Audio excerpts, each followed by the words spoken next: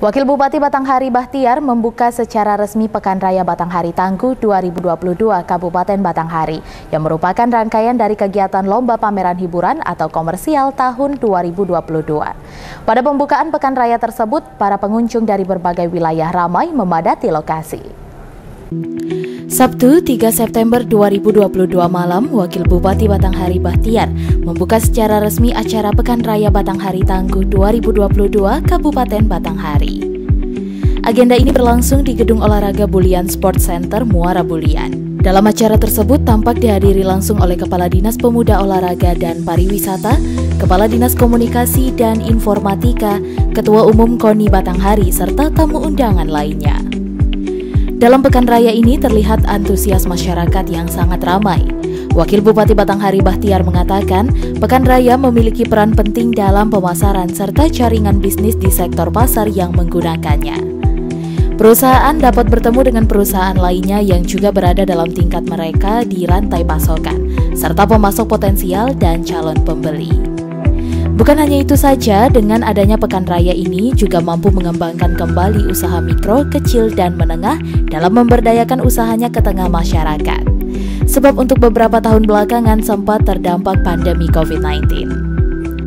Karena kita sudah beberapa tahun yang lalu tidak dapat melaksanakan berkumpul bersama-sama, melaksanakan kegiatan-kegiatan kita secara terbuka akibat daripada pandemi COVID-19. Pada malam hari ini yang kita lihat secara bersama sampai ke jalan-jalan tentunya dipenuhi dengan antusias masyarakat Kautau di Kabupaten Batanghari maupun yang dari luar.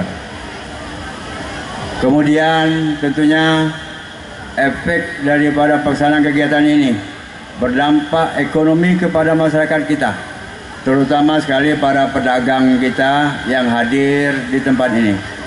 Tentunya kami mengucapkan terima kasih kepada ESM Organizer beserta Kepala Dinas yang sudah bersama-sama menginisiasi pelaksanaan kegiatan kita pada malam hari ini. Biasanya kita mulai pada malam ini mudah-mudahan jadi event kalender di Batanghari pada masa yang akan datang. Wakil Bupati Bahtiar berharap kegiatan Pekan Raya Batanghari Tangguh 2022 ini dapat diselenggarakan kembali dengan tata kelola yang semakin baik dan menarik. Secara garis besar, pemerintah mengharapkan event tersebut dapat menjadi pembangkit semangat promosi, selanjutnya meningkatkan lapangan kerja, dan pada gilirannya akan meningkatkan pendapatan masyarakat dan pertumbuhan ekonomi. Dalam pantauan di lapangan, acara tersebut juga menyajikan berbagai acara, mulai dari lomba ceria anak merdeka, zumba party, aerobik dangdut, lomba senam herbalife, festival dangdut, lomba jajanan tradisional, lomba memasang lacak dan tengkulu, lomba lagu daerah, Batanghari Fashion Week, dan lomba lainnya. Bahkan juga menyediakan taman bermain yang langsung didatangkan dari Taman Mini Indonesia. Joni Firdaus, Cek TV, melaporkan.